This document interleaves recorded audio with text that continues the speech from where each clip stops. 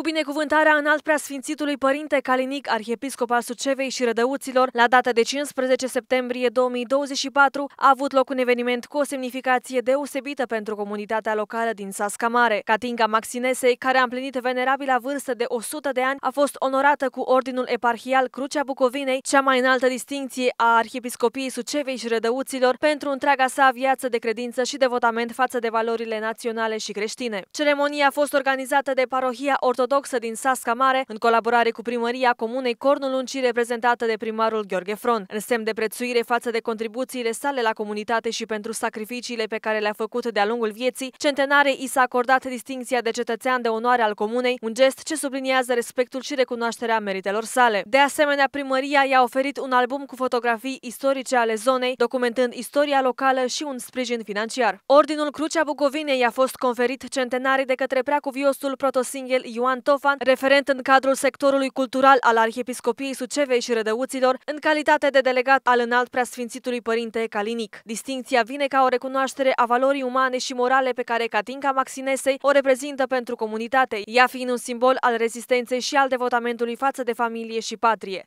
Un alt moment emoționant al evenimentului a fost prezența lui Dumitru Davidel, prim vicepreședinte onorific al Asociației Naționale Cultul Eroilor Regina Maria, filiala Plăiei și Suceava în vârstă de 87 de ani, care a participat la ceremonie pentru a oferi centenarei un tricolor, simbolizând respectul pentru patriotismul său și al soțului său, Gheorghe Maxinesei. Acesta a fost veteran de război, participant pe frontul de la Odessa în timpul celui de-al doilea război mondial, un erou al neamului care s-a stins din viață în 1995.